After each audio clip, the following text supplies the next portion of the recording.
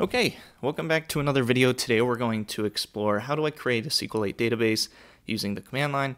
Uh, as compared to the video that we did before using a GUI application called Database Browser for SQLite, I don't think this is the preferred way, but if you're curious on how you do it, uh, we're going to go ahead and check that out. Before we get started, if you like this kind of content, please consider subscribing. I'm trying to make this video short and sweet and to the point, um, so let me know how I do. And if I sound a little bit energetic, maybe I don't. I'm drinking a Celsius, which hopefully if you're watching this a few years from now, there's not like some lawsuit that it gives people cancer. Because um, I like them. I think they're pretty good. Go check them out. Not sponsored in any way. okay, so we're going to create a SQLite database using the command line. There's a few things we need to do ahead of time. Number one, we need to download some executables. And the way to do that is you can go to the SQLite.org slash download page. I'll have it linked down below if you want to go check it out. And for me personally, I'm using Windows, so I need to go to this precompiled binaries for Windows. And this last one here, the SQLite Tools, is the one I want to download. So I'll click on it, it'll download it. If we look in our downloads directory, there it is. And I don't want to keep it in my downloads directory, so I'm actually going to move it to my C drive, and I have a directory in here called temp, so I'll put it in here and then extract it here. Okay, so I can go ahead and delete the zip one now. And let's rename this one, because the name's kind of long, uh, to like SQLite 3.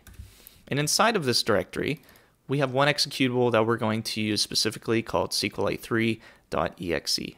And so the question is, what if I want to create a database, a SQLite database, in this specific directory, the C temp? Well, if me and you both do this together, and you're following along, uh, we're going to have different results, but I'll show you what happens, and then I'll tell you why our results are going to be different. So if I open the command line and I cd to ctemp and I run the command, it's pretty easy. It's just SQLite 3 and then whatever we want to name our SQLite database. So like test.db.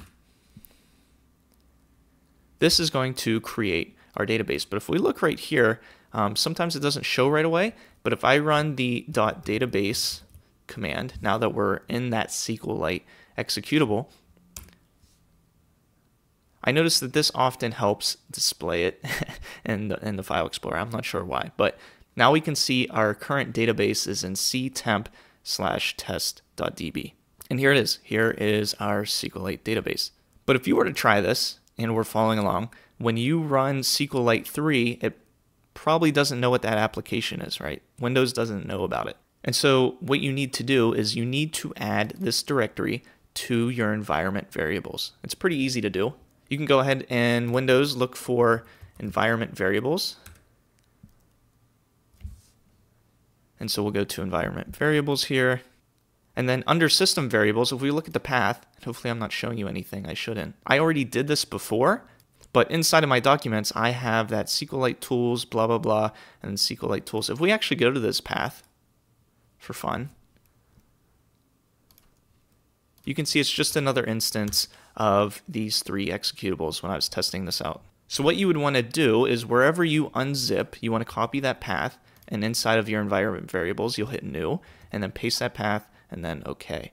However, it's still not going to recognize it right away. You will probably have to restart your computer for it to recognize this environment variable. But once that's in the environment variables, now whenever, if I get out of this, Control Z, whenever I type SQLite 3, it'll say, oh, I know what SQLite 3 is because I looked in all of the environment variables directories, and in one of them, I found SQLite3.exe, and then it'll use that executable when you run it in the command line. And there you go. That's basically how you create a SQLite database uh, via the command line. And if I wanted to go ahead and open this up in our database browser for SQLite, I can do that. So DB browser for SQLite, and I go to open database and we'll go find this thing. So C temp. Here's our new one that we just created. We'll open it and obviously it'll be an empty database. There's no tables, there's no views, no triggers, no ind indices, indexes, I like to call them. So yeah, we successfully created a SQLite database using the command line.